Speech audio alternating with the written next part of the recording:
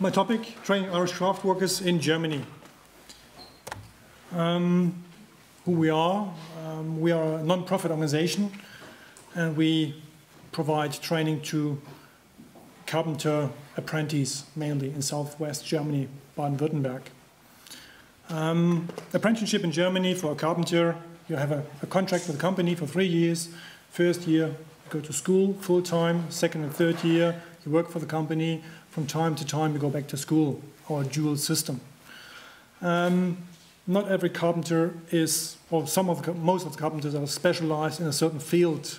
They might do carports, they might do roofs, they might do prefab houses, um, but the apprentices have to learn a wider field than that. So what they have to do is, from time to time, they have to send them to our institute, uh, where we have 14, 16 workshops, 30 master craftsmen, um, where we teach them more or less the basics, how to use a handsaw, a chisel, circular saw, bandsaw, whatsoever.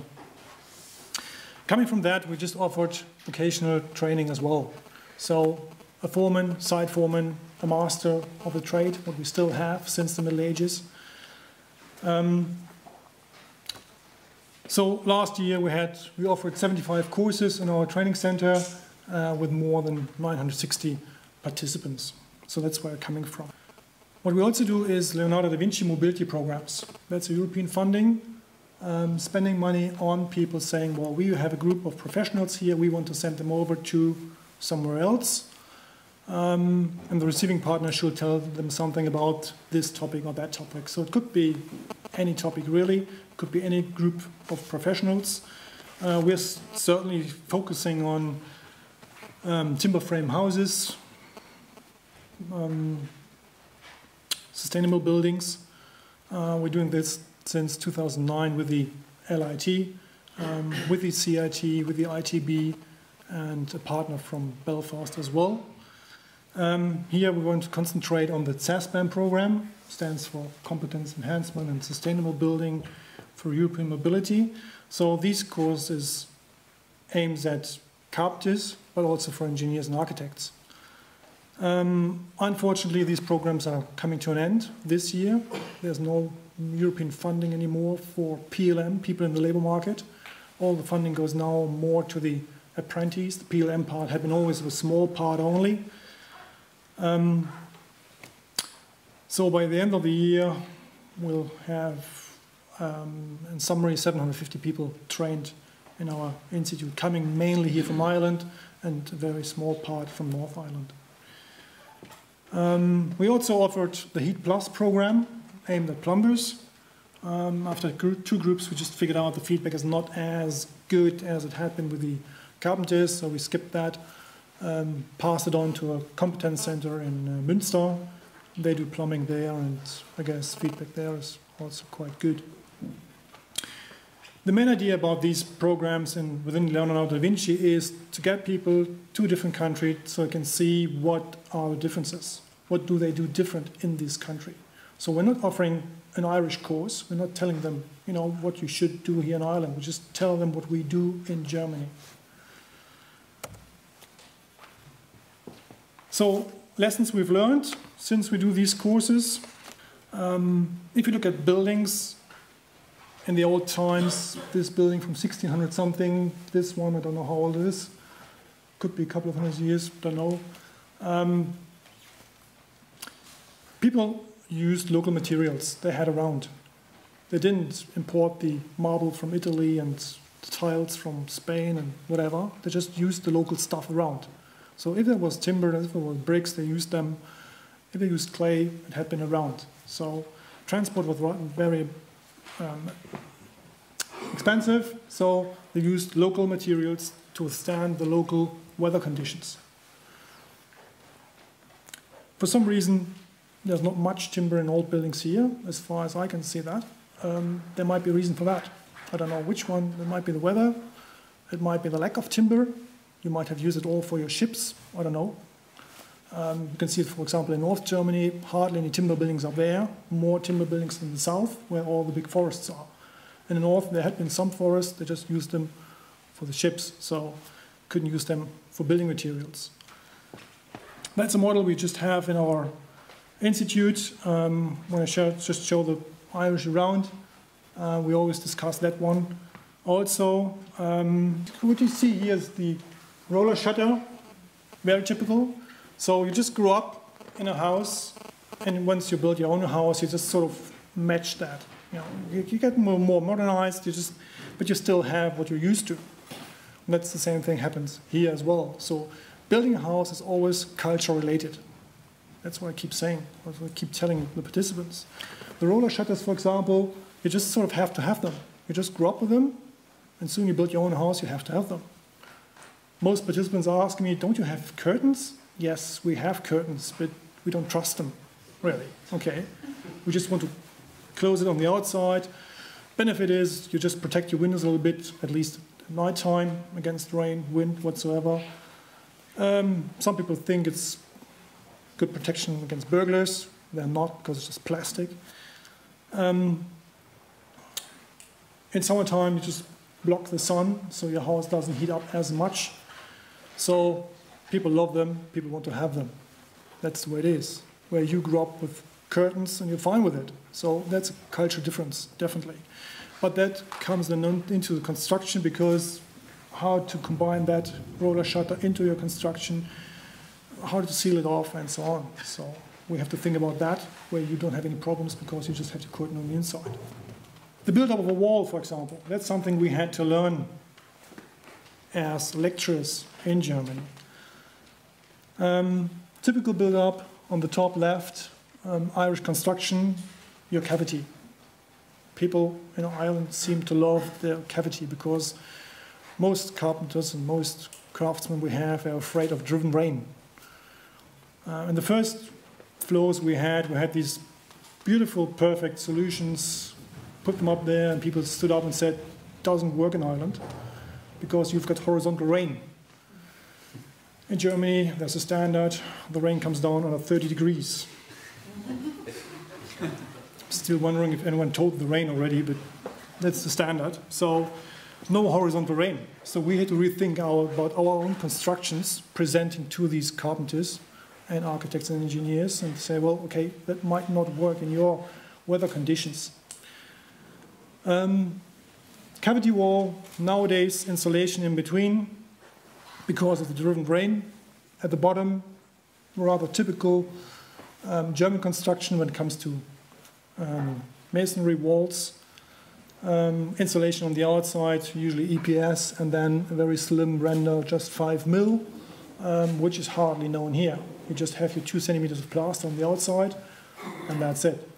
There are at least one company around here in Ireland, they do this retrofitting with EPS on the outside, 5 mil render on the outside as well. And they have problems to find plasterers that could do that job different culture, different constructions. Um, also different here, German building site, you have to have a basement. You grow up, you have a basement, your washing machine is downstairs, your tumble dryer, storage of groceries, your freezer, it's all downstairs. Um, I didn't even know where to put it if I don't have a basement. So you have it somewhere else. Unthinkable for me. It costs a fortune to dig that out, to get the cellar, the basement in there, but you have to have it. So we have different, um, a different culture here. Um, that's the road in Ireland, I think somewhere County Tipperary. Um, hardly any overhang, double chimneys, for what reason ever, I don't know. That's something you don't see in Germany. I think it happened in, in a couple of hundred years ago. I had so many chimneys, you were rather rich because you could, avoid, you could afford a fireplace in every room. So you had eight chimneys on the top. Okay, some, for some reason you sort of keep it and say, well, still two chimneys up there, not just one.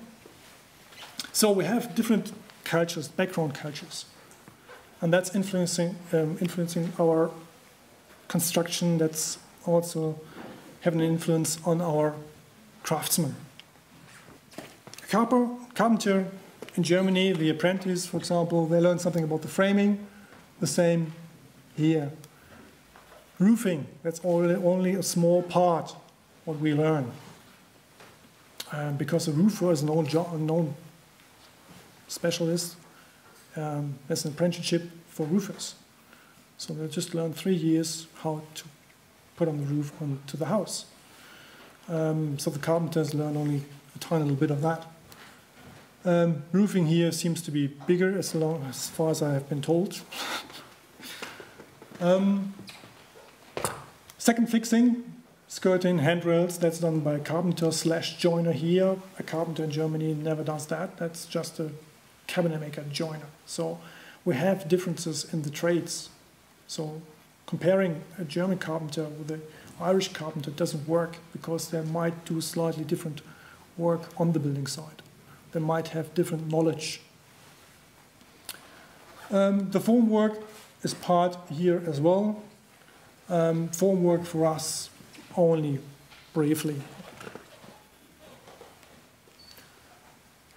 The doors, internal, external, to build them, that's done here by the carpenters. For us, nope, that's a job for the joiner, for the cabinet maker.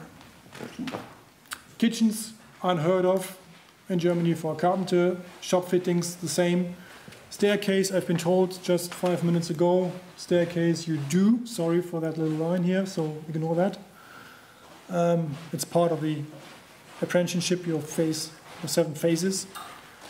Um, the refurbishment here is not done for us, it's done, and the airtightness is a big issue for us as well. So, yeah, it's hard to compare, as I said, the crafts directly to each other. Um, so therefore, carpenter in general in Germany, they have a deeper understanding of the building physics. What is around, what's the background about it? Why do I build this way and not the other way? As I said, we just train a thousand apprentices each year in our training center. We tell them about the U-value calculation, how to calculate that.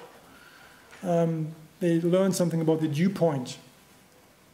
So they understand if I just have a very airtight or very diffusible tight member on the, in, on the outside, I just get a dew point inside my calculation, um, that will cause problems. And that's a big difference we just learned when we had the Irish carpenters, even engineers and architects. Um, some part of our course we give is building physics to understand the SD value, how to calculate the dew point inside a wall, which is very easy to do, but even most engineers don't know how to do that. They just rely on the suppliers, just give, give them a call and say, well, just could you just, you know, calculate that for me? Does it work? Doesn't it work? Um, in our point of view, that knowledge should be with the guy on the building side, even. Because if he just puts the materials in the wrong way together, for what reason ever, um, he might cause problems there. Um, we teach our apprentices about the diffusibility of materials, so know what is very diffusible, which is not, which is more tight, um, in which order do we have to put them onto a roof, into a wall, whatsoever. Um, the air tightness, um, for the last 10 years, um, the airtight level we have to achieve is three, three times the whole volume the house is allowed to leave through uncontrolled gaps. Um, here it's still seven, I've been told this morning, and you still have your four inch holes in your walls as a requirement. Then I don't have to think about airtightness. If I still have these big holes in the wall, um, it doesn't make a lot of sense to me. But again, it's culture. It's coming from somewhere. There's a reason why you have this requirement. Yeah. Um, you don't have power plugs in your bathrooms. We have cultural differences. Um, so if you have a requirement coming either from your culture, from your own, or your government saying, okay, that's the level, that's what you have to achieve, people start to think about that. If your level is too low, seven plus four inch holes, you don't have to think about the air tightness really. So you don't have to make a proper job there because it's sort of going through that hole anyway. So um, I think we have the carpenters have a bigger understanding, awareness of the importance of the airtightness. Um, the biggest enemy for a timber frame house in Germany is the electrician and the plumber because they just drill the holes and make cuttings inside your airtight levels without knowing that this is the airtight level, really. So um, there's still some training needed there, I guess. Um, we have special workshops where we train our apprentices to fix different members, membranes to each other or to different materials onto a wall, timber frame, and to uh, plasterboard whatsoever. So what they could use on different materials at what spot. So um, they know what to do on the building site. So in the end, um, the different climates we have, they lead to different building cultures, different construction detailings, definitely. Um, the different building requirements we have coming from a cultural background, they lead to different levels of knowledge. Um, and when we develop training materials on European level, we've done that in a European program um, called Train Energy. Um, the biggest problems we had were to find, you know, what, what level do we start with? We start with um, some materials that might be boring to one part of Europe because they know all about it, and then might be already nearly too much for the others because they haven't heard about that a lot yet. So, um, yeah, so I was rather pleased when I saw the roadmaps a couple of years ago, and the European Union decided to make that a national roadmap. And I thought that was a brilliant idea because then you don't have to get along with these problems. Developing materials that are equalized all over Europe, that, in my opinion, doesn't work unless you just focus on the very, very basics. But then again, you have different knowledge of levels, uh, levels of knowledge uh, in different countries. So it might be known in one country already and brand new to the other one. Right, so that was quick. Thanks for your attention.